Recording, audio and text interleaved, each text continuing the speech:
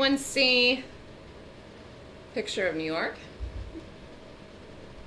I should actually change this picture to Central Park now.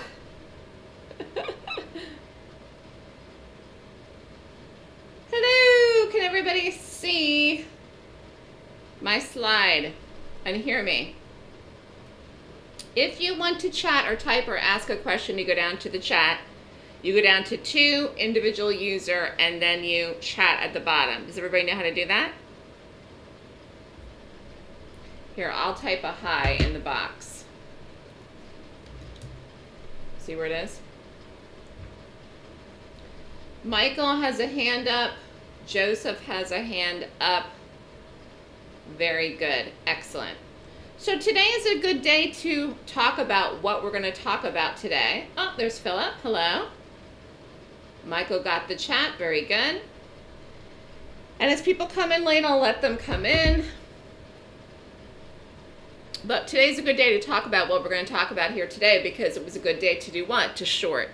So while I trade and sometimes go long, sometimes I go long, I mostly focus on shorting. And today was a day that you could have shorted quite a lot of things, actually.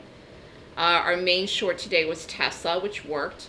You also could have shorted the market today. Okay, market fell today. Now, why did the market fall today? Well, you can say this reason, that reason, the other thing. NVIDIA fell, pulled the market down. There was news out, actually, that came out about the United States putting more sanctions on Russia. And that will be announced later this week. And that is going to have an impact on the market this week. It did today. And the FOMC minutes are tomorrow, which is Wednesday. Remember, it's a short week with the market close yesterday for President's Day. So there's just a lot of things that are going on this week that could affect the market and pretty much shake things up. Now, why is that good for you if you trade? Because shaking things up is good because it means you're going to get momentum and movement. If we had a stock market where things didn't really go anywhere and they were just back and forth, back and forth in a range, we how would we make any money? Okay. So part of the way that you can earn a living trading is you got to get moves. You got to get big moves. You want big moves. Big moves are good. Volatility is good. People that think volatility is a bad thing don't know how to trade volatility. So you want a big move. And again, any questions as we go along? Some of you are familiar faces, some of you I recognize, some of you I do not. Um, so you can chat in the room if we have any, if you have any questions as we go along today. Uh, I think if you follow me on YouTube, you've seen I appear on TV. Um, I actually got asked to appear on TV today, but I'm here with you guys, so you guys and girls. So I couldn't be on today. And my guess is that they asked me to be on today because of the fact the market was falling. But I already had this webinar scheduled. But I'll be on again. If you have questions, you can email me at melissathestockswoosh.com. You can also call me at 929-3200-GAP. you can also follow me on Twitter, Facebook, YouTube, or Skype. And again, I try to post information on my YouTube besides all kinds of videos about not just past webinars, trades that we do, interesting tidbits of things in New York. So definitely go to my YouTube and follow me. So we're, we're here and it's crazy. In less, no, week and a half, week and a half, next Friday is March 1st. I cannot even believe it. I seriously can't even believe it. In fact, right now as I'm talking to you, I can tell it's starting to stay light out longer here. So before you know it, it's going to be spring which I'm excited about, I'm happy about. But the fact is, this year already, I feel like is flying by, flying by. And so, just a hop, skip, and a minute ago, it felt like it was Christmas, it was New Year, and now it, here we are into 2024. So I put the stats in here for last year for day trades and for options, even though, again, we're well into the second month of 2024 and almost into the third month of 2024. But the fact is, we're having a great start to this year. We're having a great start to this year with day trades. These are our stats for day trades 219, 324 stats this year with an average risk of about $3,000 per trade. These are trades I called in the live room on margin. And for the options, I risk more in my options trades. We're having a huge start to the year as well. I risk more in my options trades because I want to take bigger positions and I want to hold overnight. Now, the thing about doing options is, and we'll talk about this a little bit more later too, You determine your risk. You could take one contract if you want to. Okay? So that is up to you. How much you size yourself should be based on your cash size of your account. And again, we could talk about that more later. But we're having a great year doing options as well. So we're already on pace to eclipse our goals from last year or our stats from last year. And the reason for that is because we've had a lot of opportunities. We've had a heck of a lot of opportunities this year, and, and I have no explanation for that or why. Again, we're going to talk about what I do. I'm mostly short, and you say, well, that that's strange because the market's been very bullish this year, and yeah, that's true. Uh, today notwithstanding, but the fact is that the opportunities are there. We trade different stocks, individual stocks. It doesn't matter if the market's rallying. It doesn't matter if the market's falling. So, so far this year, our stats in the Room and do options is 823, 669. We are on pace to do better this year than last year. Again, it's been a great year to trade. We've had a lot of movement, a lot of momentum, and today, again, is a good day to talk about this because you had we had nice moves in stocks today. We had a good move in the market today, a move that you could have captured and shorted, okay, and we did. And again, any questions as we go along, plop them in the room. But you need a focus. You need a focus to trade. You need a focus to do this for a living. You need goals. You say even if you if you want to do this part time, you have to have goals. Again, I'm constantly, constantly, constantly looking at what I'm doing, comparing. Am I doing better this week than last week? Am I doing? Am I on pace for the year? Am I on pace for the month? Am I on pace for the week? Again, I'm comparing last week's uh, last year's results to this year's results. You got to stay on track. You got to have goals. You got to have a focus every single day. I call it chunking it out, but that's really what it is. If you stay on track, you're to achieve your goals by the end of the year. If you're all over the place, you're not going to, okay? And part of that is being organized. Okay, I'm a very organized person. Getting up early in the morning before you train, getting prepped, how many trades do you want to take on a day, where do you want to get in? Where do you want to get out? What do you want to do? What's the market doing for the day? All of these things, okay, will help you get where you need to go. But specifically for me, my focus is on the strategy that I trade, and that's what we're going to talk about today. My strategy is based on gaps. And as I said earlier, I prefer to short, okay? I like to short. So here is a gap. Now, what is a gap? The definition of a gap is when a stock closes at one price at 4 o'clock Eastern Time and gaps down and opens in the morning at 9.30, that's a gap. Or when a stock closes at 4 o'clock and gaps up the next morning at 9.30, that would be a bullish gap. Okay, so we're going to look at both. This was a chart of Roku. This was the play of the day on Friday. Stock closed here. This was Thursday night. Okay, we're going back in time. It closed at one price, 94 and change. Gap down, open in the morning, around 77 and change. Open, fell. And we shorted this. Actually, you could have shorted this today. You could have actually shorted this again today. You could have done a put in this here. You could have done a put and a short in this. And again, a put is a short as an option. A day trade is what we did on this on Friday, and you have to have a margin account for that. Anyways, this is a gap. So again, this is 4 o'clock. This was 9.30 on Friday morning. Fell, dropped. Then we did it again here. We didn't play this today, but I'm showing you. This was Friday closure. Then we had Monday holiday. Tuesday was today. Gap down, open here. Fell, boom. You could have shorted this today. So that is a bearish gap. Let's look at a bullish gap. See what they look like. Here's one over here. Stock close here gapped up. So the point of the closure of the price of the stock at 4 o'clock was whatever this number was, I don't know, 95 something. And then it opened the next day higher, higher than the close. This was a gap up, rallied. You could have gone long this here. Could have got in, got out, boom, made money, been done with it. Okay? So there are bullish gaps and bearish gaps. And again, this is a daily chart of Roku. But the point is that there's movement in gaps, which equals what for you? Money. And then again, you add size to the position, and that's how you pull out, you know, a week, your, uh, you know, a month, your goals, wherever you want to go. But anyways, getting back to what I do, I trade gaps. This is what I do. And I rate them. I rate gaps with a 26 point checklist. If you decide you want to learn my strategy, this is it. It's the checklist. Okay, this tells me that Roku is going to sell off on Friday and not rally, which it didn't do. Okay, that it's going to fall. Boom. And then I should short it. Now, I'm not predicting Roku's going to close here and open here. I'm not predicting that. Okay, I'm not a psychic. But the fact is that after it does that, then I want to rate it. And I want to rate it to determine if it's a long, okay, this could have rallied, or if it's a short. And again, in this case here, it was a short, and that's what we did. We shorted it. But what tells me that is the points, is a checklist. This is what I do. So again, the theme of today is to trade for a living. Why is that important? Because if you don't have a strategy, you're, you're not going to make any money for a living. You're not going to make any money at all. You're going to lose. You have to have a strategy to trade and be successful. That's just a given. And I think a lot of people don't. They say they're trend trading or they're swing trading or they're trend trading. And again, I predicted, you could say I'm psychic for this, because I predicted earlier in the year, at the end of last year, that the market for 2024, even though I think that the market is going to be bullish this year and hold the uptrend, it might break, it might, but it's probably going to hold the uptrend. I predicted that it wouldn't be easy, that it wouldn't be easy. Today proves that point. And again, actually Friday too. So when I say not easy, meaning you just trend trade it, you go long the market, you buy every pullback, and la la la la la, you make millions of dollars.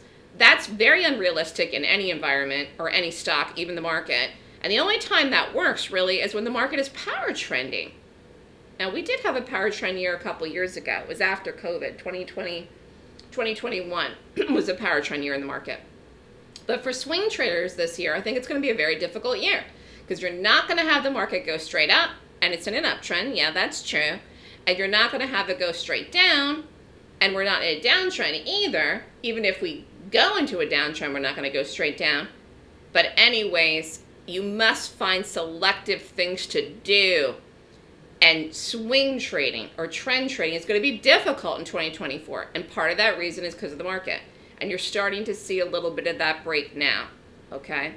Any questions on anything I just said so far?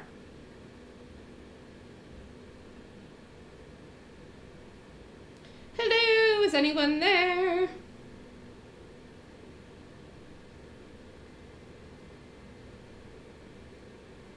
Again, I see some new faces.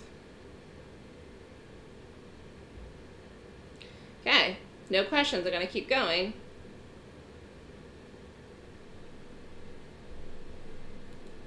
So let's talk again about what is a gap. Please proceed. okay. What is a gap? I shall proceed. What is a gap? A stock gaps when the opening price today is different than the closing price of yesterday's trading. A gap is a break in price action from one day to the next. Simple, okay? So again, you say, well, wait a minute. Does that mean everything gaps every single day? Pretty much pretty much because it's very, very, very rare that something would close at 42.05 and open at 42.05. Okay, so actually stocks and the market pretty much gap every day. So that's just a fact. Now, it could be something where it closes at 42.05 and opens at 42. And you said, well, Melissa, that's a gap down. Yes, it's, it's a gap down. It's five pennies you know, I, I don't know if I'm going to rate something like that. I might. It might fall. That's true. It, it's a gap down. But the reality is that most things do not open at the same price as they close. Okay. And so it's about finding the good gaps because there's more gaps that are not good gaps than are good gaps, if that makes any sense. So when I developed my system, the rating method, I tried to find a way to find the best and highest odds to get something that's actually going to have a big move and is going to go in the direction of the gap. And so I qualify it using a checklist because I want to find the best thing to do. Because if I don't find the best pick, then I'm at the mercy of the market because most stocks go with the market on any given day. And like I said, most things gap. So how do you predict that that thing is going to follow in the direction of the gap or even have a big move at all or do anything that day? when most everything gaps, okay? So it's, you've got to find what I call the, a, a good pick, okay? Now here was one that we did. This was UPS. Again, this is crazy that it's, this is a month ago almost. But this fell Stock close here, gap down, open, rallied, dropped. Now, UPS was a short. This didn't go easy either, by the way.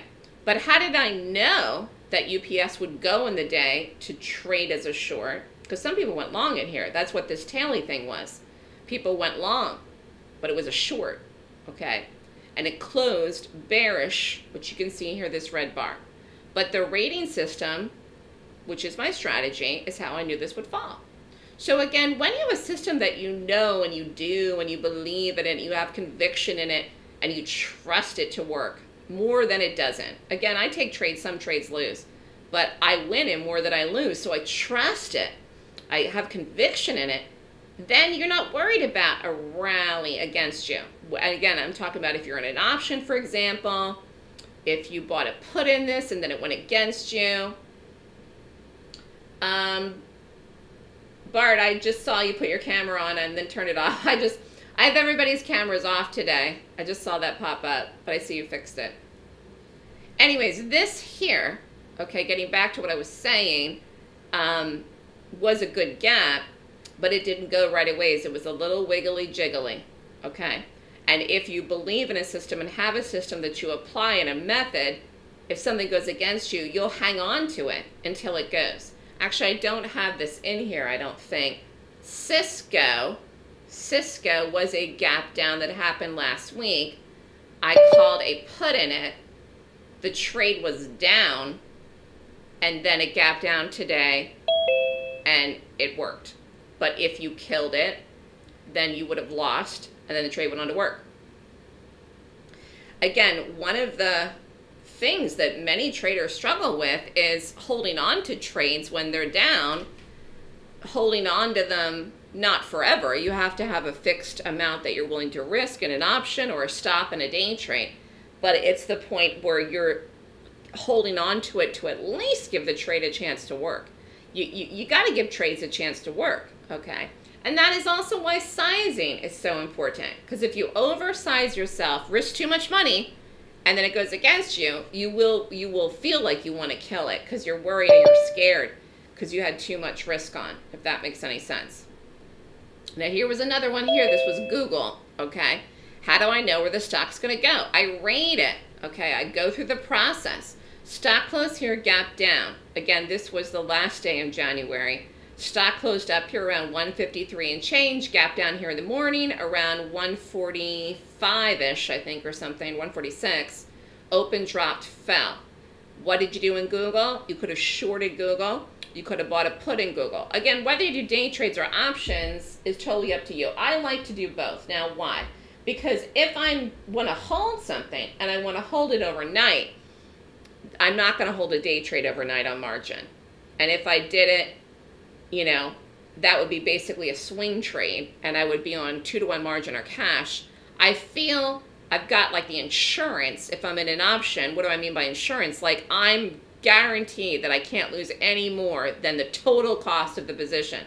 If the whole position costs me $10,000 and the whole thing goes a bust against me, I'm not going to lose any more than that. So it's like that protects you when you're in an option, but you have an expiration date with an option where you have a time limit on it.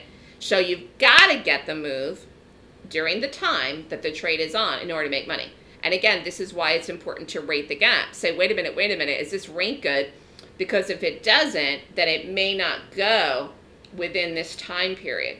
Again, when people like to do swing trades, they're, they're trend trading. Well, yeah, the stock may go in your direction in umpteen weeks or umpteen months or umpteen years. And a million things could happen against that where the trade could be down while you're in the trade. When we're actively trading, when we're, we're, we're actively trading, whether you're doing options or whether you're doing day trades, it doesn't matter. You're chunking it out either way because we're doing weekly options. Again, whether I call something like tomorrow that expires March 1st next week, for example, that's basically a week and a half. That's still a fast trade a quick trade. That's not a long-term investment by any means. It's active trading, and that's what we do. And if the trade, if I do a trade tomorrow and it goes right away, it's poof, I'll be out of it. Okay. Anyways, any other questions here? I saw some people I just let in late. We're already underway here, but if anybody has any questions that I just let in, you can type it in the room down here. I put the high. Okay, so I rate the gaps. That's what I do. Let's look at another one here, Tesla. This was a while back now, it feels like. Stock closed here, gap down, open, fell. This was January 25th. This was the earnings in Tesla. Here was today. Today short in Tesla. We shorted it. We did puts. Stock closed here, gap down, fell. Boom. We got in, got out. Done. And again, you could have done a put. And you could still be in a put here. Okay? So how did I know this would fall? I rated it. Same thing with this guy. And it could have rallied. And sometimes things do rally. I just got done talking about the Cisco. Cisco did rally on the earnings, but it went and fell the way that I anticipated it would within the time of the trade. But if you want to be successful, you have to have a strategy. Whether you want to do this for a living, full time or part time, you need to say, I'm going to get up every day and do this. I'm going to get up every day and risk this much and take this many trades. And I'm going to get out here. And it literally has to be like that. And, and I mean, it literally has to be that. And if your personality is not someone that you're organized and it's if you're all over the place and you have a gambling mentality and you've been down this road before with trading and, you, and you're just, you need some kind of guidance to keep you on track, that's what the checklist is. First of all, if you're in the live room with me, I should be keeping you on track because I'm calling the trades live in the room. But the checklist should be your checkpoint too to keep you on track. I'm going to do this. I'm going to follow it. You rate it, okay? So I'm looking for 20 points or more per 26 point checklist. And this is what keeps you on track so you don't go off the rails. So you don't overtrade. So you don't do things you shouldn't do. You rate a gap. And if it rates 15 points, you shouldn't do it. That's it. You don't have to think about it and agonize on it. And I don't care if somebody on CNBC is telling you, this is fabulous, this is great, do it, do it, do it. No, you have to follow the system. And if you follow the system, you're going to be more organized. You're going to feel less stressed, okay? And you're going to stay on track. And that's what that's what everybody wants to do. But it's up to you to do that. So there's a certain amount of personal responsibility with that. And I think that's something that also the traders struggle with too. But it's something that you can easily get on board with doing. You know, people think, well, you can't, once you get a bad habit, you're screwed. You can never change it. That's not true. Everybody here knows somebody that smoked cigarettes that quit. Everybody here knows somebody that was an alcoholic that stopped drinking. Everybody knows somebody here, or you maybe, that you've had a bad habit and you've licked it.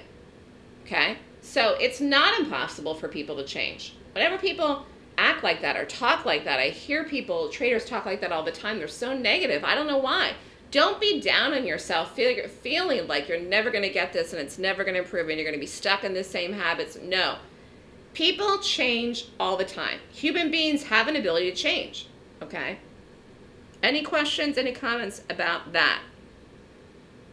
Now let's look here at another one. This is DFS. Stock closed here, gap down, open, rallied, drop. This was discovered. This was earnings. This is, again, back in the middle of January but this fell. This was a short, okay? So you could have shorted it, which we did, or you could have done a put. Again, sometimes with things that are expensive, which the market is expensive right now, I'm not going to lie to you. You know, the Qs are expensive, the SPY is expensive. Tesla, you could even say, is pricey, although not as pricey as it used to be. Puts are a cheaper way to capture a move in a stock and play it and make money because you don't have to worry about margin, which you do for day trades. But I do love day trading, and here was the day trade we did. So this was on January 18th, and again, this was a day trade on margin. You would have needed a day trade account, a margin account. I'm going to show you advanced trader, risk, and beginner. Entry was 115. So I'm calling this in the room. You want to do it, you do it. Boom. If you don't want to do it, you could buy a put when I'm calling the entry, and you just poof, you just buy the put. Now, some things I'm calling the same things, like today in Tesla. I call puts in Tesla, and I call the day trade. DFS, I didn't call a put in it. I didn't even look it up, actually. I, I didn't, but you could have bought a put here if you didn't want to do the day trade, okay? Shares for Advanced Trader Risk 2500, I did an add here, so I actually had more risk on this. Total shares I had on was 5,000. Again, look at the move. So the average price was 162, drops, boom. This is almost $4. This is, a, you know, three something. This is a good move. This is, a, this is what we want. This is momentum. This is selling. This is a huge trade. Again, you would have had to take a big position in this. But what if you did smaller? If you took a thousand shares, took 500, did the add, you could have made 38.20. And this is a reasonable, reasonable, reasonable account. So like in order to have a day trading account on margin at a retail broker, you've got to have 25,000 unless you go prop. If you go prop, you're going to get 10 to 1 margin and a retail broker you're going to get 4 to 1 margin. 25 is the requirement. You would have been able to do this trade. So you could have had a $25,000, a little bit more than that account because you can't really right be right at that 25 and the average cost here was more than 100. But for a thousand shares, you could have done this roughly thereabouts, a little bit more. And again, this is this is a nice trade for an account. Say uh, say uh, for thirty grand to make thirty eight hundred dollars in one trade, and that's how you grow your account. Again, you could have done it put in this. You could have done it put in this, but this was one fifth of the risk of the of the other trade that I just showed you. Now, what happened here? Again, this is a 15 minute. Stock close here, gap down, opened, rallied, dropped. We shorted it, got in, got the drop, boom, done. Again, sometimes we're in and out in five minutes. Sometimes I hold a little bit. I did hold Tesla a little bit today. I could have held it longer, actually, but I prefer to be out of my day trades earlier in the morning. And you could have get out of this in the morning, early. But this, again, was a day trade, and you could have done a put. And while it's not exactly the same thing as far as what you're going to pay and how you're going to pay it, if you want to follow me in the room, and again, if you don't trust yourself, if you don't trust yourself to do anything without me, if you're new, you could just follow where I get in, get out, whatever you make, you make. Again, because it's going to be different because you're not going to take shares because in puts you do options. Make sense? I mean, not contracts. So again, like I was saying earlier, though, you you you got to take the weight of the pros versus the cons. You say, yes, I'm going to risk money and I might lose, but I want to make sure I get this and I really really like it. And if I don't do this, this is crazy. And I really want to do this trade because I want to make money, but I know I might lose. Again, this is the whole point of trading. You're trading because you want to make money. There's no way to actually make money without actually taking risk. So then I say, cut your risk back. You know, take a set amount of risk where you'll feel comfortable. You don't have to worry about it. But every trade you take, you're weighing the pros and cons. That's why I have the rating system. I want to see lots and lots and lots and lots and lots of reasons that I want to do it. That's why I have 26 points. And I feel like 20 is good. 20 is a lot. I feel like if it's under 20, the rule is don't do it. So again, the more things you can put in your favor, you feel better about taking it, you feel more confidence, and then you feel like this is less stressful. It takes takes the weight off of you of the worryment of the cons because the con is always you could lose money. And also you have no idea what's going to happen. I can predict everything out as beautiful like an angel and things could go completely different. And that's life. You know, we watched Cisco. I didn't end up doing uh, doing that um, as a day trade because it didn't set up right. But the reality is that um, I thought it would work. Now, I was right. It did go that as an option, but it took a couple of days. But again, it should have gone that day, and it didn't. And that's what happens sometimes. Um, Afua, that's a question. I'll email you that. Afua is already on board. I will email you what all of that means when we're done here. I was going to say something else and I just forgot what I was going to say. Anyways, pros and cons. Afua, send me an email and ask me that question so I remember to to answer it. Okay. Anyways, you know, getting back to what I was saying, pros and cons. There's no way to get around the fact that when you take a trade, you could you could lose money. There's just no way to get around it you know. But that is what separates the winners from the losers because again if somebody has i don't want to say guts but it really is like guts. If somebody has the the fortitude and the knowledge and the and the capacity to take risk you know and the guts i guess then they can benefit by making money in the market. And that's you know again some people trade and they trade they say oh i can take risk i can do it but they really don't have the stomach for it. And that's why people are killing trades very early, not making a lot of money when they do make money in something, they kill it. They kill it when they're up a little, they kill it when they're down a little, they don't get anywhere with it because they really don't have the personality of the stomach to take risk. And you do need to have money to take risk in an account, whether it's prop or retail. Are the 26 points all technical or fundamental? Uh, the 26 points are all on the daily chart and they're based on technical analysis. As far as fundamentals, if, if all of those things, like I said at the beginning, the market fell today, there was news out about Russia sanctions, the market tanked then when that news came out, that the U.S. is putting sanctions on that. Very often, the, the, the reasons or the backstory behind why something's doing something is really, it's like almost already there, and we don't even know that ahead of time. So to say, well, we're going to trade based on fundamentals, it's extremely difficult to do. If I had to read every single earnings report that I, when it came out, I'd never have time to trade for Pete's sakes. You know what I mean? I can go through 26 points. I can go through it, you know, in seconds. I don't do that. I take my time. Once you get the hang of it, you can do it in five minutes per, per gap.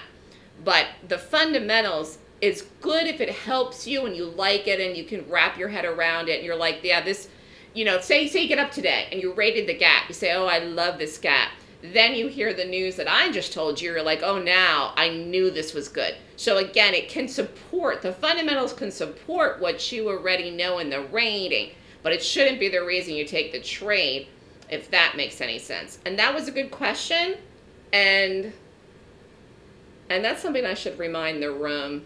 Randy, remind me to remind the room that tomorrow. Is your first name Gail? Whoever asked me that, I don't know, I can't see what your first name is. But that was a good question. Anyways, you can trade options and you can day trade gaps. And like I said, it's it's whatever works for you. I like doing both. I don't have to I don't have the pressure in an option where I I can just let it ride and get a bigger move. And again, you know, sometimes things take a little bit of time, like a day or two or three. Whereas with a day trade, I do have the pressure to get in and out. I have to get out of that trade before four. I've got to exit that trade. And so it's different. But at the same time, when I'm doing a day trade, I know when I go to bed at night and I hit my head in the pillow, boop, I know I made money or I know I lost money if the trade failed, if I got stopped. So, so when you go to bed and you're an option, you could be up, you could be down, you could be, you don't even know you're in it. This is a live trade. You hit, your head hits the pillow. You're like, oh my God, I don't know where this is going to be tomorrow. And there are some times where I've gone to bed like that. And usually then it's, to be honest with you, I, I probably have too many trades on and they're all in one direction. So there's been times when I can tell when I have too much risk on. And, and again, this is, it's a constant balancing act. You can't hold everything. If I call 10 trades, should you hold them all? No it's like you got to chunk it out because it, it helps you because you don't want to be up in 10 things, go to bed, and then get up in the morning, they're all against you.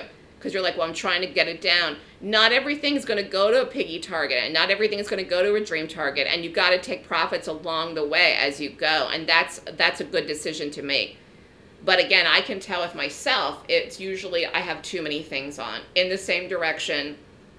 But the nice thing about day trading, the positive, the pro, is that I know where I am every night when my head hits the pillow. Uh, are your 26 points evaluated before the open or after? Oh, definitely before the open, Bob. I wouldn't have time. Like, we're in and out of the trade sometimes in five, ten minutes. If I'm waiting till the open, I may miss the whole trade. So I know exactly what I want to do when I get up in the morning and rate the gap. Sometimes if I'm up at 6 a.m., I'm rating gaps and I'm sending options trades out at 7 a.m. Now, if you're on the letter and you get the trade, then you can't take it. You can't take the trade until after the open, but I've already rated that gap, and I may do that three hours before the open. So, yes, that's part of the prep work. You could rate gaps at night.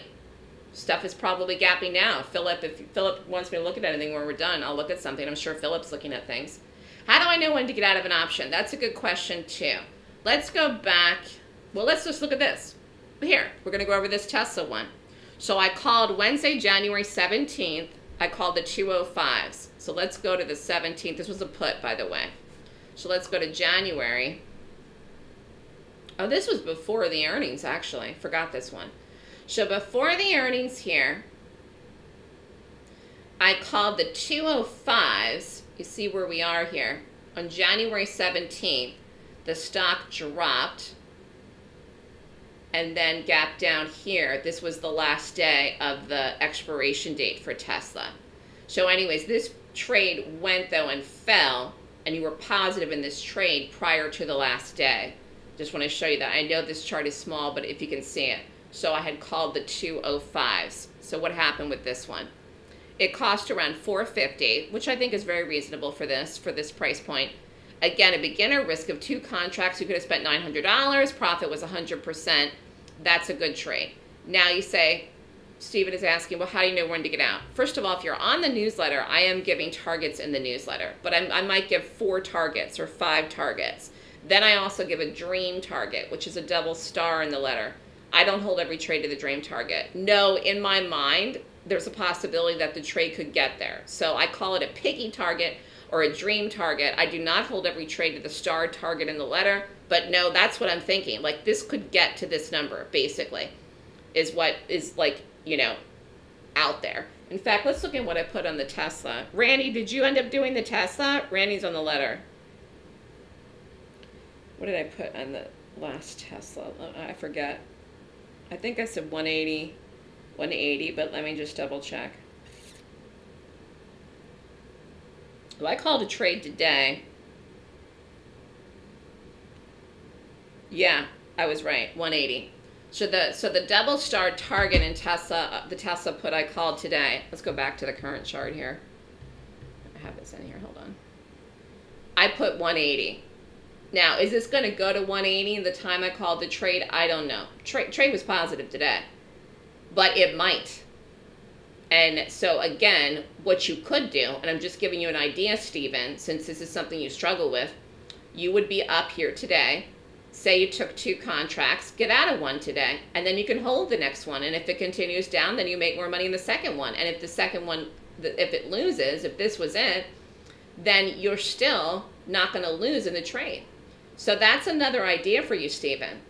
Or if you do four, book two, hold two. Or if you do four, or if you do three, book two and hold one.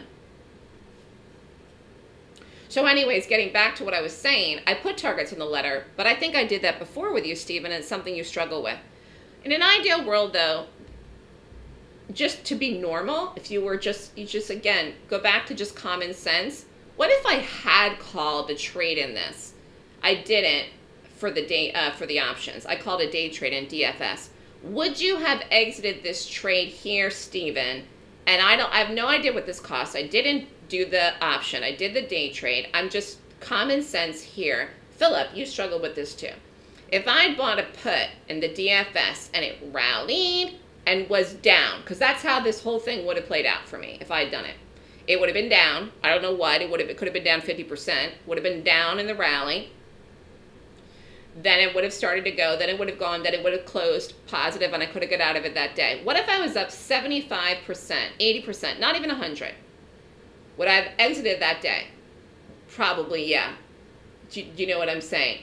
Why? It's a big fat red bar. I would have been short in the put. I would have taken the trade. The trade would have been down you see the logic there, Stephen? So these are things like, again, common sense should help you, plus the targets in the letter. I think 50% is a good profit, to be honest with you. Now, a lot of our trades this year are going 100% or more. It's just, like I said, it's been a good year. I don't think that that's something that you have to say, well, I'm holding everything to 100%, because I just laid out a scenario here where I took a trade, say, the trade's against me. I'm like, oh, crap then it goes and I'm happy with what I'm up. I book the money. I'm already in five other things. Do you follow what I'm saying? I'm in Tesla, say, and I like Tesla more. Like, I don't want to hold DFS and Tesla. Do you, you understand the logic here a little bit, Stephen? Again, you're going to do the class, Stephen.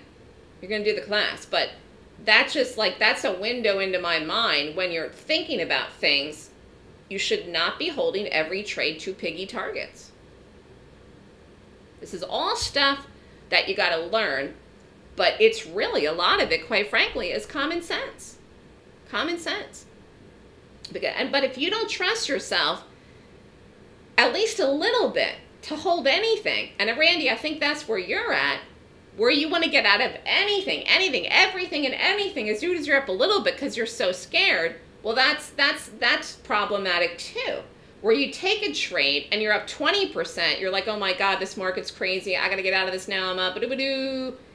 Then you're not giving the trade a chance to work either. Do you know what I mean? Randy, I'm talking to you. Did you hear what I said? Stephen, did that answer your question? So the best advice I can give you is common sense with with with your trading because that's really really going to help you. Don't hold everything and don't get out of everything too quickly and give trades a chance to work. But don't hold on where your grip is so tight that you get out too quickly or hold too long. And Philip, I think that was that was your problem. But again, maybe you're over that now, Philip. People can change. They can. You'd be shocked, you know, how much people can change. I think there's just such a mentality, particularly with traders. And I'm just I'm saying this from someone that's been teaching people now for 12 12 years. Um, it, you know, the mentality of traders is feeling like very stuck and that they can't change, but that's false. That's a lie. If you ever went to somebody and they taught you something and they taught you how to trade and they told you you're never you could never change and you have a bad habit and it's you, it's all your fault, you're blah blah blah, you need to sign up for some computer or moving average thing, that's all crap. The second you stop believing in yourself or your own ability to make decisions with your own mind, you're pretty much screwed I mean, you may as well pack it in. And I'm not just talking about trading. I'm talking about anything. How are you going to make a decision to buy a house or a car or get married or have a baby if you don't even trust your own decisions? It's no different with money. It's no different. It's about trusting yourself to make the right choice. And yeah, you might make a mistake. Okay, so you make a mistake. I've made mistakes. Last week, one day, I don't. I think it was Tuesday. I think it was a week ago. I completely overtraded.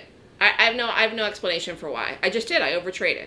I was like a bat out of hell with my day trades. And I don't I don't do that often, but every once in a while I have a bad day. I was able to come back, but I took so much size in the trades that I was in to come back that it I had I had a lot of risk on. You know, and it's not it's just like, you know, everybody makes mistakes. You just move forward and you get back on track like that. Okay? These are good questions and keep asking them. Anyways, it's the American dream to become rich, successful, and financially independent, but you need a plan to make that happen. It could be trading, it could be buying and selling real estate, it could be anything, anything you want to do, you know?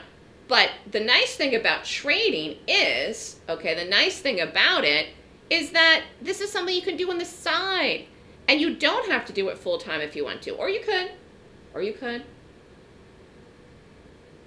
Um, which trade? Which trade was 500? Some trades were. Some trades were 500 percent. Yes, we've we've had some trades this year that have been ridiculous. I don't think I, I have any of those in the in this, but that doesn't mean every trade, Stephen.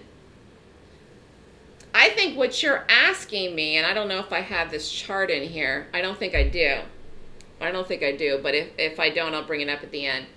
I think your point is, Stephen, how am I ever going to make more than 100%? If I get out of everything at 50% or 75% or 80% or 100%, how am I ever going to make more than 100%? I think that's what you're trying to say. Because, yes, we've had some big trades. Ooh, the hawk just went over me right now as I'm talking to you. The red-tailed hawk that lives on my roof just went over me right now. He's going out to hunt. He's going out to get his dinner and he's gone. Um, I think that's your point, Stephen. Is that what is that basically what you're trying to ask me? I'm I'm trying to read your mind here. Am I is that what you're trying to ask? Well, that's an easy question. You're going to be in it overnight. So, BA was the one that I don't know if I have that in here but I'm going to use this here as an example with Tesla. You will be in the trade at some point, some trade that I do, or multiple trades or whatever, Some people might be in some trades right now. Actually, let's go to the Tesla right now. Let's go to the current Tesla. Where were we? Here, today. Randy's in it. So am I. If Randy and I get up tomorrow morning, and I'm just making this up to just show you, Stephen, and Tesla's at 180, Randy and I are going to be up more than 100%. I don't I don't know what percent. I have no idea how much it's going to be up, but it's going to be up a lot. And that's how you're going to get those moves, Stephen. You will be in the trade and it continues in a gap. And that we have had trades like that this year. And that's how these ended up going. And I called two Teslas today. So again, getting back to being reasonable and normal you could have done one trade today, which is which is I think what Randy did. I think he got out too early before he talked to me, but Randy did a trade, Randy got out, Randy made money. Then I called another trade. I think that's the trade Randy's in, right? Randy's in the second one. So he booked money in the first one, so he's in the second one and he's going to let it ride. Is that correct, Randy? And that was the right thing to do. So how are you going to make more? You're going to be in a trade when it gaps in your direction. Same thing could happen in a bullish gap. I could call a call and you could be in it. We've had that happen with NVIDIA. I've called calls, NVIDIA gapped up, it's over the strike, we're up more than 100%. That's the day you're going to look to get out, Stephen. And some of those we weren't we weren't even up enough to even consider getting out. So those are not trades you're going to plan you're not going to plan those. You're going to just be in them by participating and getting the trades. And anyways, getting back to BA, that did happen in the BA. That we had some BAs this year that were just huge, huge, huge trades because we were in puts and then there was mechanical failures or issues or things that happened and this was earlier in the year and the stock fell overnight. All right, I'll look at those, Philip. Anyways, all you need is one strategy and one focus. And, and you do need that. And you need that and minus gaps. But it's also shorting. Again, using your brain and thinking clearly and analyzing stuff and working it out and being, I'm, I keep saying being normal because there's so many things in the world right now that are not normal. I mean, it, it, it, again, if having the TV on or being in a, like you know Reddit chat rooms or things that are going to distract you and make you go crazy in your head or looking at your P and L, if something's down, even if it's a great trade, it's a beautiful trade, you've got two weeks left, there's no reason to stress about it. You know, you have to just try to be as logical as you can. Again, that's where going back to the rating system helps you. If you're worried, rate the gap, rate it, do the work if you don't know how to rate it, well, that's a different story. That's why you do the class. You do the class to learn it. And again, if, if you're just going to trade options with me and you're not going to take the big class, well, you follow the targets I have in the letter, or you have to look at some profit targets. You have to say, I am going to get out of every trade at 75% or 50% or 100% or whatever because I don't understand what Melissa's looking at. I didn't learn it yet. You still should be okay and make money that way. But you can't hold everything to a pigger I hope Tesla goes to 180 between now and March 1st. I feel very confident that it will. Is it going to need the market? Probably. Are we going to get the market? I think so. Like I just told you when we started, there's a lot of crazy stuff that's going on in, in the next 24 hours that could rock this market. But you need your brain. And you also have to believe in yourself. If you get down in yourself and you want to quit and you get frustrated, you're working against yourself. You already got other people in the market that want your money. They want your cash. They're in trades against you. If you're working against yourself and other people are, are working against you, you got no chance. So you got to work for yourself. And, and I'm trying to help you too, but you got to help yourself. And that's taking the class, signing up, learning, doing the homework, doing the ratings, getting organized, showing up for the room on time you know, not not coming to the room late? These are good questions, though. Anyways, why gaps? Gaps are the most powerful show of price action in a chart. Again, how do we read the gap? We look at the daily. Gaps have large moves. Gaps can move up or they can move down. Some of the biggest momentum moves in a daily chart, though, come from a gap. And we looked at some of those today. Here was another one, PayPal. PayPal here we did. Stock closed here, gap down, fell. This was back on the 8th of February. This was a good short. Stephen, would you have gotten out of this trade this day? I did. We did a put. I got out. I don't know why you wouldn't have gotten out. Like, do you know what I mean, Stephen? This is like a reasonable trade. Was it some monster 300%? No, it was just a trade. You get in, get out. You take it, you book it. Done. Poop. That's it. I don't know if you would have got out in that, Stephen, but you should have. And again, I don't know what you were doing. Like, were you holding things too long? I don't know. I don't. I don't. And and then you just move off of it. So what if what if that would have dropped all the way down to 52? Well, I, we would have done another trade. Big what? So like if you would have got up in the morning and this would have kept going, I would have just done another trade if I wanted to. You got to book money and stuff. Again, this was a short. It was a day trade short and we did a put. Anyways, part of the thing that I'm looking for is whatever's going on in the chart, whatever's going on in the stock of the market or wherever we're playing, I'm looking for institutional money. I'm what are they doing here with this thing? Again, are they selling it? Are they buying it? Are they going long? There's only one thing and one thing only that can move the direction of a stock, and it's money. Not a little bit of money, but a lot of money. And that's the only way the stock's going to move. If all of us together took one trade, the same trade at the same price at the same second in the market, we wouldn't move it. There's no way. Not even with size. You need institutional money, millions and hundreds of thousands of shares. And what I call power money. Power money is in charge. Power money is in charge of the stock's direction. Trends are set and moved by the power money people, of which there's a lot of in the market. I mean, there's just a ton. Again, we talked about the SPY. So the SPY closed here, gap down, open, fell. So the banks were down today. There was some news out with banks today. So the banks were down and the financials go with the SPY. So the SPY was down. And then we talked about the negative information with Russia, which continued the sell off today. Now, people love to buy support. They could be buying the market today. Tomorrow, we could be up to start the day. We could be gapping up. We might be up tonight. Why? Because people love to buy this market and they love to buy support. And that's what I'm telling you. This is going to be tricky. Anyways, making money trading is fun, but you need to use your brain. And if you don't, you're going to struggle. You're going to have a hard, hard time. It's, I know, again, I keep saying common sense, but that is literally what it is. Because at the end of the day, if you learn the system, follow the rating system, keep your risk the same on almost every trade, get out when you're up, you should be fine. And when I say get out when you're up, that's not get out when you're up 20%. That's not hold every trade till you're up 500%.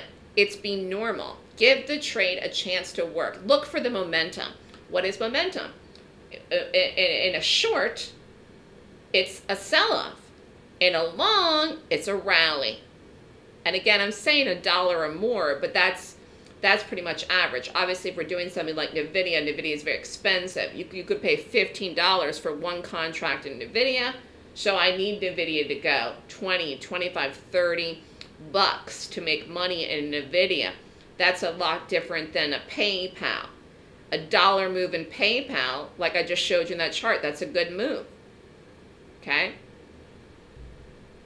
but also trading isn't gambling. And yes, some people have some problems with this, and this is a problem you can solve and you can fix it.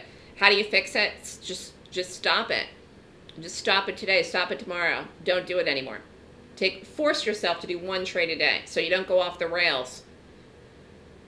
I mean, you're you're not going to have a horrible week if you're doing one trade a day. What would be the worst thing that could happen to you if you don't know what you're doing? You'd lose in five trades in a row. But can, some people are gambling in the market. They lose in five trades in five minutes. Literally, that's how crazy some people are trading. Like they're sticking, uh, you know, coins in a slot machine at, at Las Vegas. You can't be like that. You have to be very succinct and think it through. And the nice thing about options is you have time to think it through. You have time to think it through. You have time to think it. Okay? anyways, the whole system is based on the checklist. I go through the points and I rate them, and this is what you learn from me. It helps you stay consistent. The 26 points, you check, check, check. You go through it, you rate it, you do it, you see what's going on, and that helps you. It helps you in the end because otherwise, why? How do you know what, what's going on? How do how do you even know it's going to work? And again, you can't. Whoever asks a question about fundamentals, you can't just say, well, you know, the fundamentals are good. Yeah, but the stock might sell off. The fundamentals also may be bad, and then the stock rallies. Again, we've had so much mixed data with the overall uh, economic data that's come out. We've had people predicting that the Fed's going to do all kinds of things in the last two years.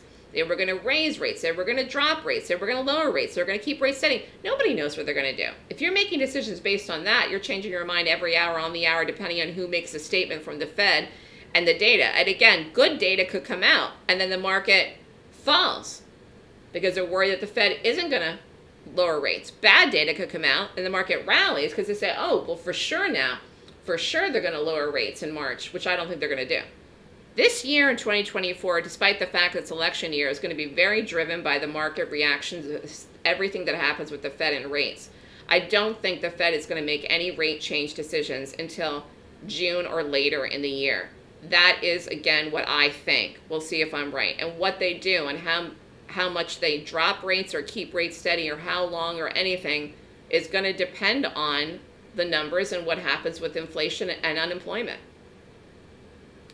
any question, which nobody knows. So you shouldn't worry about it.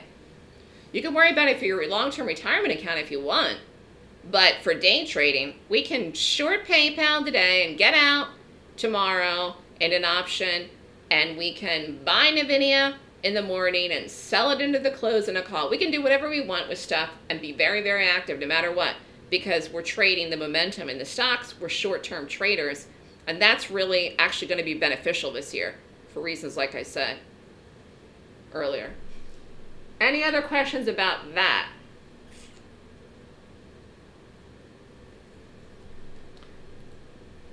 Anyways, we talked about the Roku. Again, Stephen, if I had called a put in Roku, would you have got out here? I think you should have. If I had done one, I would have. Guess what? If I had stayed in it, this would have been more if I had done it do you, should you care? No. You're, you're not going to get out of every single options chain at the perfect, perfect, perfect price. If you if I called a trade in this and you had done it, you should have got out here and this would have been a good exit. Not knowing what was going to happen on three day weekend, not knowing what the market's going to do, not knowing anything. This would have been a good, solid exit in the trade. You would have been up. You would have been up a good amount. If you held it, you would have been up more, but you can't worry about that. Randy, are you seeing this too? Again, we didn't do this except for a day trade, but it's the point I'm trying to make.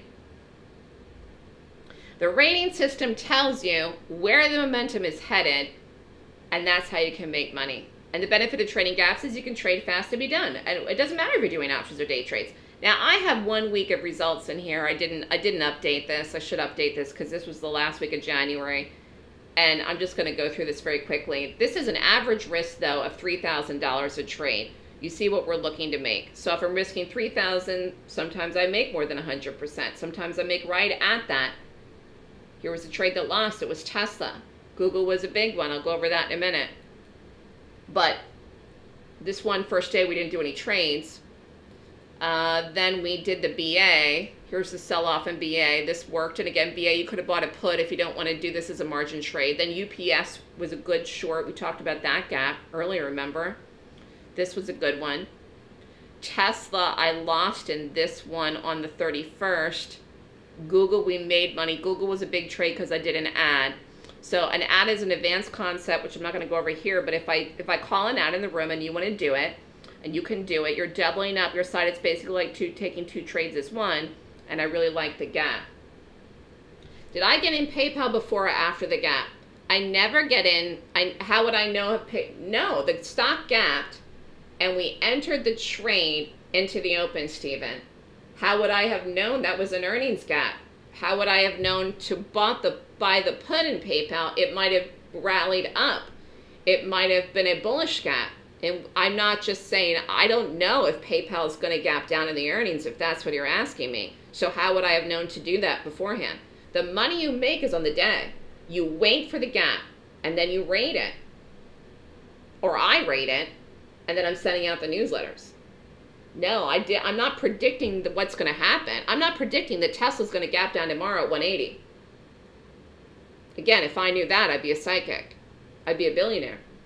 And I wouldn't be here with you. I can tell you that right now if I was a billionaire. If I was, if I was, I was a psychic like that. That's a 50-50 crapshoot predicting what something's going to happen into the earnings you don't know. Now, I might be, and this does happen every once in a blue moon, I might be in a trade. I'm completely down in it. I'm like, I can't lose any more. I'm already down in it. The earnings are that night. The option expires Friday. I'm just making up an example here. And then it goes, and it goes in my favor. And then I have a trade was completely down. I had it was worthless. It was worth five cents. And then it gaps on earnings in my favor. I was already in it, and I make money in it. But I didn't take that trade to plan to play it through the earnings. But I was in the trade, and it didn't go before the time and I had nothing to lose by holding it because I was already down in it, if that makes sense. Now that has happened to me. Philip has played some of those with me. We've gotten trades like that. That's never pre-planned. That's like it didn't go when I wanted it to, kind of thing. But no, I don't know. I can't get in them before they gap, Stephen. I don't know. Uh, 2-1 here, we lost in QCOM. I got stopped. Some people did get out. We shorted this. I didn't get out. I was up. I could have got out. And then I got stopped in it. And then BA was a big trade here on February 1st. That was a short. And Amazon we did, which was a long. Actually, Amazon was a long. This was on 2-2. This was earnings. This rallied. Amazon was a nice long. You could have bought calls. You could have done the day trade here. Again, this was a trade on margin where you would have bought it. And I called it in the room. And then we got out. Boom. We had a good exit on this. Actually. So anyways, this is an average of risking around three grand a trade. That's the risk worth the entry and the stop. Again, you have to have an account to take some of these trades on margin, and if you don't, you can do options in them. We were already talking about this as far as chunking out, chunking out profits, and I think that's something that some of you need to work on.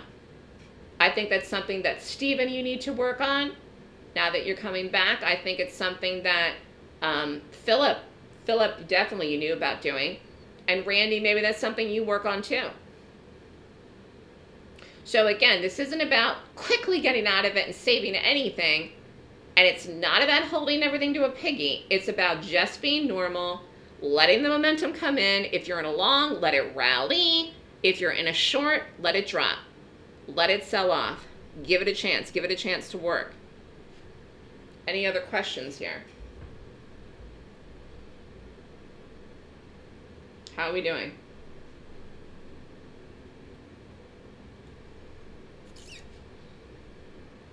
Okay.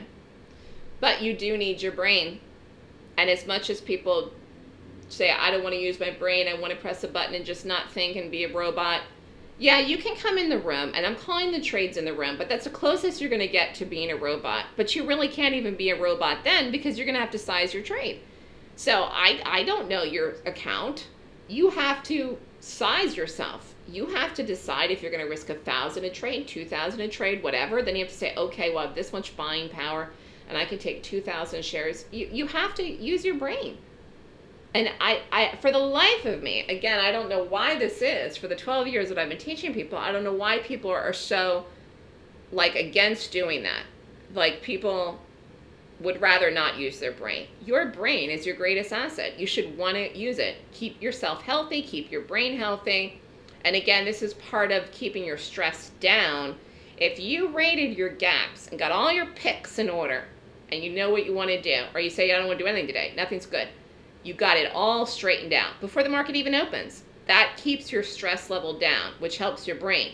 Your brain will go better and you know, think better and act better and you're going to be more stable if you have everything pre-planned and then you get the setups and you do it. Then you don't have to be as stressed out. Okay, there's no getting around the fact that you have to take risk. There's no getting around that. That's why we put stops in where there are day trades. Okay. Anyways, it's a daily focus. I rate the gap. I use a 26 point checklist. That's what tells me what to trade each day and what to look for. And the key to getting the big trades is the momentum. You know, like like the PayPal, like the Roku. It was really a nice trade actually. And when I'm trading, I'm looking for momentum. This gives me an edge. I don't have to worry about scalping. My expectation is I'm going to get a big move, Stephen. Now, to me, 100% is a big move. If I get 80% on the same day, I still think that's a big move. Now, if it goes a little bit and I'm in it, I'm going to hold it overnight to see where it goes. But I always expect to get a big move. I don't expect every trade to go to 500%, but I do expect that some will. Why? Because I'm going to be in that BA that I liked and we did a couple of times and something happens and then all of a sudden it's 20 points through the strike and we're all in it and that pretty much made everybody's January. So, I mean, it's just, you just, you know that it's going to happen. Again, it has to do with having the confidence to be in the trades. But if you're taking a trade and you're killing it too quickly, where you're never going to get that, you're not going to, you didn't give it a chance to work. So you're not going to get those big ones when they go overnight. Because sometimes that's how these options play out. Sometimes Cisco, that's what happened with Cisco. Cisco was down. It gapped down this morning. And it's probably still lower, actually. Momentum trading is one of the most profitable and fastest ways to make money trading. Learn how to take a position in a stock in anticipation that the stock will have an explosive move, and that is what you need. That is what you need. These enormous moves happen in one direction, and happen fast. Momentum trading can be very profitable, but it's all based on the gap. It's all based on institutional money. Gaps happen in the market all the time, every day. Everything gaps, like I said earlier. But some gaps are nothing gaps, and more gaps are nothing gaps than are good gaps. You want to find the ones that are the good ones, that the institutions are buying or selling or shorting. The most important gaps in the market are gaps that signify a change in direction or a bigger move in the same direction, which is what we want. And basically that's that's Tesla. That's Tesla, actually. Um, understanding which gaps are meaningful and which gaps are not meaningful in the market will help you know what to do and when a change is occurring. And that is how you know when the power money will flow to pay you which of course we want, and obviously the faster the better. Okay, so the 26 points is what I'm looking at. I'm following the footprints of institutional money. I'm not predicting the gap. I wait. I wait till the institutional money does whatever it's going to do. Then I see it, then I rate it. And then either it rates good or it doesn't. And many don't. So I don't do them. And then I don't lose money in them. And I try to narrow it down to do the good ones then. So a big flow of money going in a certain direction is what moves the market, stocks, and creates momentum and sets the trend in charts. When you're looking for institutional money, you're really reading the side of the power in a stock. Power meaning the power of money. You want to be on the side of the power in order for you to make money trading. Institutional money is in charge of the market and stocks at all times. Even if you think it's not, it is. And that is going to be the tricky part this year for traders with the market because there's almost going to be like a, you've already seen it. You're already seeing it now is it's like a tug of war is going on in the market. It's going to be the bulls fighting with the bears. But again, I believe that the market probably holds the uptrend. But it's still going to be a fight to the death where the market looks like it's selling off, tries to break, goes, and then doesn't. And then it looks like it's going to go up and rally, and then poof, and then it runs out of steam, and then it doesn't. And you know what I'm saying? Like, that's tough trading if you don't get in at the right place and out of the right place. So that's why you got to find stocks that are going to have nothing to do with the market at all, where you can just trade the stocks and make money. And that's that's what I'm trying to look for. You know, not that we're never going to play the market this year. We already have had some market trades, but I've done less market trades this year in 2024 than I ever did in the last two years so far. it's just not it's just not ready yet. It's not ready to make a move higher, and it's not ready yet to fall off a cliff. Anyways, can you do this if you're a beginner? Yes. I'm teaching someone that's brand new. Actually, she already paid for the class, already signed up this weekend. She's pregnant. I'm going to teach my first pregnant student this weekend. She's doing the class in February, which I think is fantastic and I think is great. And she's not traded before, and I think it's awesome. So, you know, doing something new, you know, giving yourself that uh, courage to, to try something new and, and do something different it, it's it's what a lot of people need, and they and they're so scared, and you just you just got to get over that hump. Oh, here was one we did. Isn't this funny here? This was a 180 test that we did that already expired, but it worked. So this was Wednesday the 31st. Uh, shoot, do I have it here? Oh, here, I do. Wednesday the 31st was here. The 180. Boom, dropped. So again, this fell. Here's the momentum, fell through the strike. Boom, done, out. So again, this was a good trade. I actually had that out to the 16th, but the exit was 2.5. This was cheap. 330 for a Tesla? At the time we did it, this was kind of far from the strike. So if you risked 8250, you could have made 13,000, return investment 158%. Again, Stephen, are you still here? Stephen's always saying, well, where do you get out? Well, you wouldn't have gotten out here, Stephen. You just, I just called it. You wouldn't have got out here. You would have been down a little. You could have got out here, but you weren't up much. What happened here? Gapped down, sold off. So I don't care where you get out here, Stephen, but you're getting out here this day, somewhere, anywhere, it doesn't matter. Whether it's 158% or 125% or whether you could have made 175. You're, you're going to get out of the train here. It fell through the 180. Stephen, do you see this? Hello, talking to you, Stephen. And Randy too. Randy too. I, I don't you know I don't, I don't I don't know if you did this one, Randy. now, if you had a beginner risk, you could have taken three contracts. This is a good trade. For somebody that have uh, you have five grand in your account, you risk nine ninety. Is insane. These are good trades. Stephen, do you see this here? Do you see how you would have looked to get out here?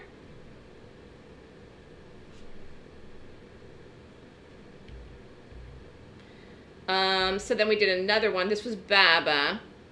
We did the 75s. What day was that? 2-7. So again, here we go. Stock closed here, gap down. Called the trade in 2-7. Open, rallied, fell. Boom. Again, 75s. So this cost $1.80. This was cheap. Sold at 425 could have made a little more than 100%. Could have got out of it before. Does it really matter? No. But again, you were up here. I, I, you could have got out here, actually. I thought about it. But I didn't think this was going to go against me with the time I had left. But then when it did this, I got out here. What if you didn't get out here? You would have made more here. What if you didn't get out here? You would have actually made more here, Stephen. What if you didn't get out here? You still would have been up. I'm just looking at this here. You still would have been up. This, you still would have been up. Look, I called the trade here on the 75s, and even if you botched this whole thing, this was at 71 and change, and you would have been four bucks for the strike. You still would have been up in the trade there into the last week, which was the 16th. So again, but you do have to pay attention to your trades. Okay. Any other questions here? But having an edge counts. You want to spot the momentum. You want to capture it. You want to trade it. You want to make money on it. You don't want to squeeze every penny out of every trade. I wish we could. We can't. We're not psychics. You're not and I'm not. We try, the, try our best. We say this is a good move. Let's get out. And then you just move off of it. Don't go back and sweat a bullet over it you know, you take the trade, you make money, get out. Don't keep going back and feeling terrible if it keeps going, you know. Like I didn't I didn't I didn't do the put in Roku. I could I could you know, I could have I could have been mad at myself all day. Why? That's crazy. It's we had a good trade in it for a day trade. I called a Google put that worked on Friday. You know, things are going well. You're, you're not going to get everything, and you're not going to get out of everything at the, at the height of the options chain. It's just not realistic. Some trades you will because you're going to be right on top of it. You're going to be watching it. You're going to have a great entry. You're going to have the market with you. It's going to set up that way. Or you're going to be in it overnight and then it goes in your favor and it gaps down five points for the strike. You're, you're going to get those trades, but you have to be on the letter to get them. You have to be active. You have to be in the trades. Anyways, we've been talking mostly about shorting because that's what I do most of the time, 99% of the time, or whatever, close to it. Why is shorting so profitable? Because of fear and panic. You will always have this in the market. You saw that today in NVIDIA. We did not short NVIDIA today, but NVIDIA fell, and there was a lot of fear and a lot of panic that came into the stock today. Why? It doesn't matter. We didn't do it anyways.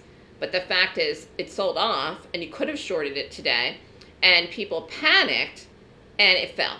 So again, panic is something that's a it's it's a powerful thing to to trade on fear and panic. And to be honest with you, that's essentially what we're doing when we're trading with the institutional money that's that's selling off these stocks.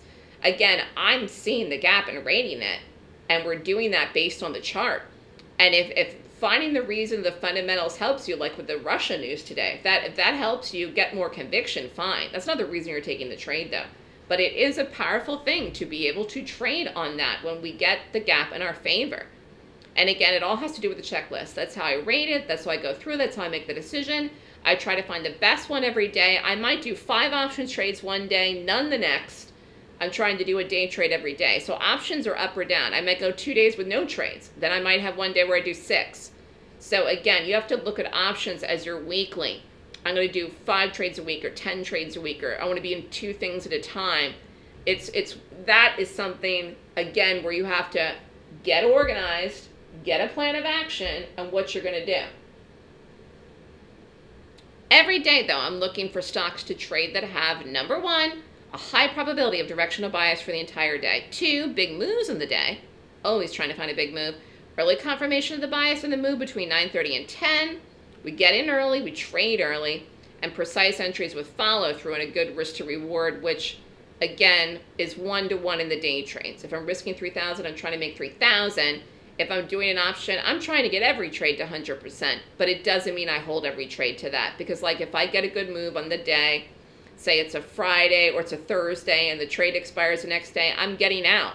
If it's 68%, I'm getting out. If it's a big fat red bar or broke late or was down in it for a week before it went, all, all of those things combined, that I'm getting out. If I have plenty of time left and I love it and it's good and I'm not up, you know, even 50%, then I'm going to hold it. And I don't think there's anything wrong with that. But you could always split it up.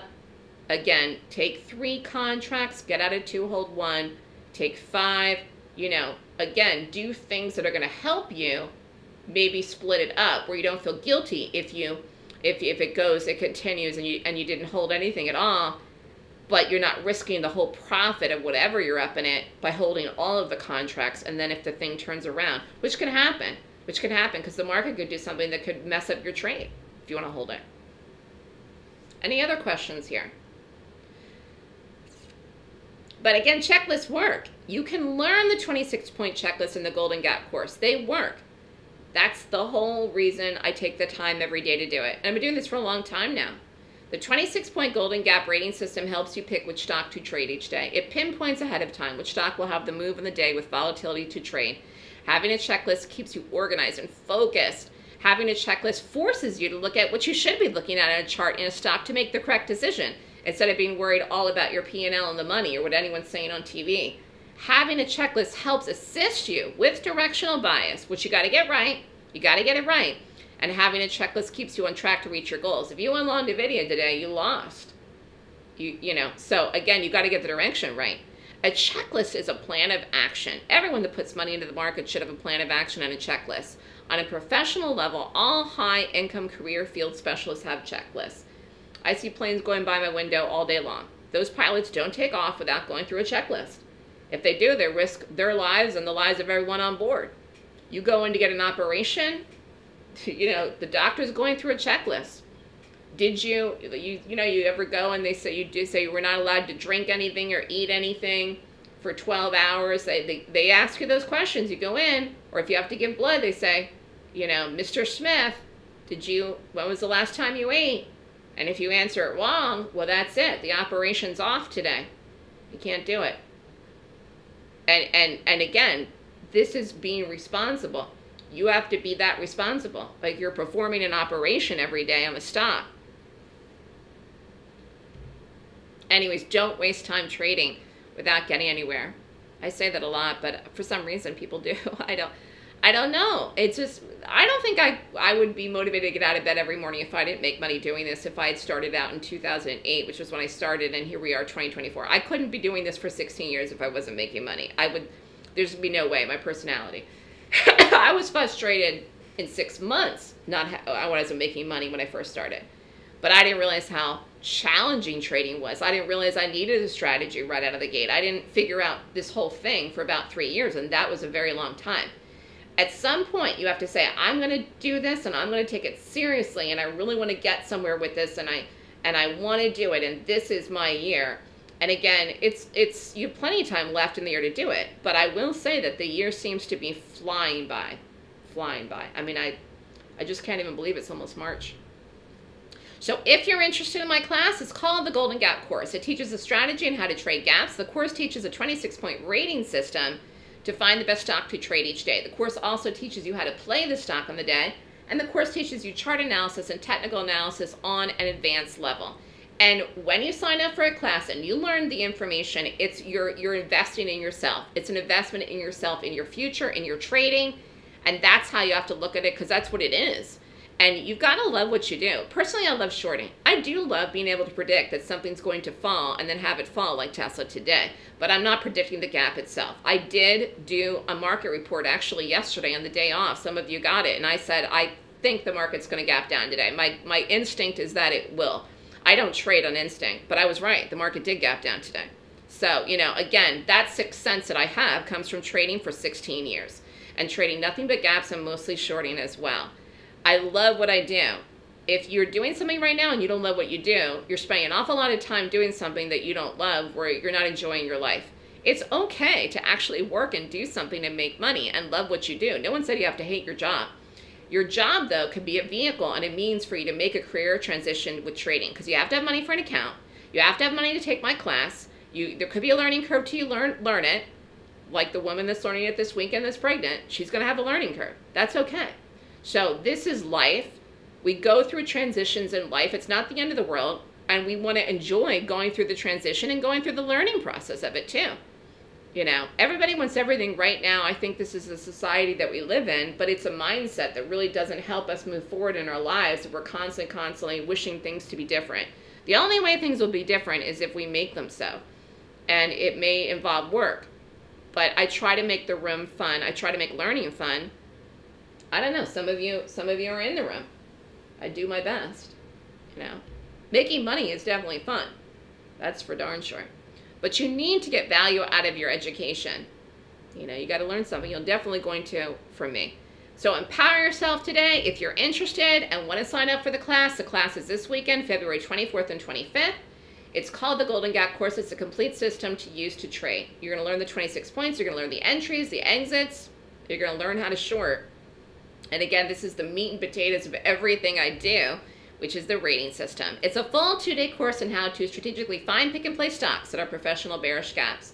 Class is online. You can be anywhere in the world and take it. It's Saturday and Sunday. I still have spots available. The class a la carte itself is $69.99. However, I am doing a special, and again, this is to support people. If you sign up for the combo, which is $74.99, it's a Chinese New Year combo. There's been tons of celebrations and all kinds of things in New York City for Chinese New Year. And it's interesting, it's called the Year of the Dragon. There's a symbolism to this, which is a year of prosperity. I can't deny that that is where we're at so far this year. Knock on wood. 2024 has been very prosperous for us at the stock swoosh, the way that we're trading now. And I've been extremely careful. And again, I have to stay on track. I have to do my ratings. I have to keep myself organized. I got to get up early. I got to keep my brain healthy too. You know, it's nice to have a three day weekend like we did yesterday and to just relax. But the fact is that it's not like just these things magically happen. I do the pre work. I'm doing the pre work myself. I look at the market. I said, the market's probably going to go today. It's probably going to break, but I don't know when. It's not going to go easy. And I was right. I was right. It broke and it broke late.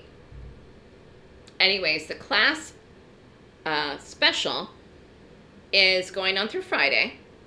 Again, I still have spots for the class this weekend. It's 9 a.m. to 5 p.m. The Golden Gap and the Trends is what comes with the combo. The special includes the room till the end of the year, the options newsletter to the end of the year, the market report to the end of the year, And the Gap Options course free, which is not until March 26th, but that gives you time. You can start trading right now, get in, and then that class is right before Easter. Actually, I think that is the week of Easter. Any questions from anyone about anything? People are doing good this year? Uh, Philip wanted to look at a couple things. Any questions from anybody about